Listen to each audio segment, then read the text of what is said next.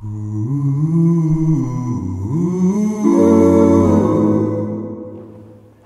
Harris recently said some ridiculous things on Twitter.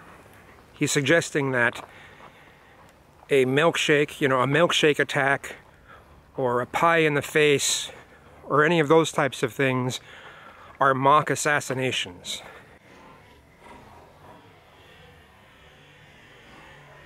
Because, oh, it's showing how, uh, it's showing the lapses in security.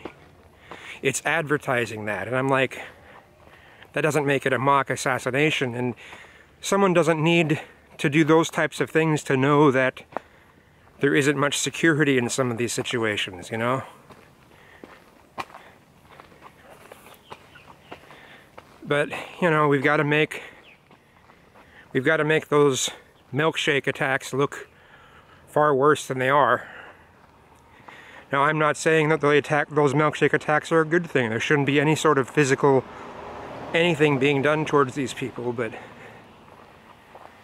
to call them mock assassinations, it's ridiculous.